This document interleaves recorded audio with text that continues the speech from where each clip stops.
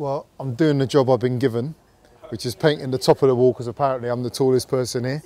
So I've done that whole uh, band. And this is a mural on the side of Easton Leisure Centre. Um, and this is a, a, a, run through that has just been covered in tagging and uh, poor quality graffiti. And uh, this is making the area look more special. This is all about um, the work we've been doing in the city with the Big Tidy and Bristol Clean Streets, just trying to make the place uh, more attractive for people, more uh, more homely by getting rid of unsightly graffiti and tagging, clean up litter, um, tipping around the city. So it's been fantastic work by all, everyone involved.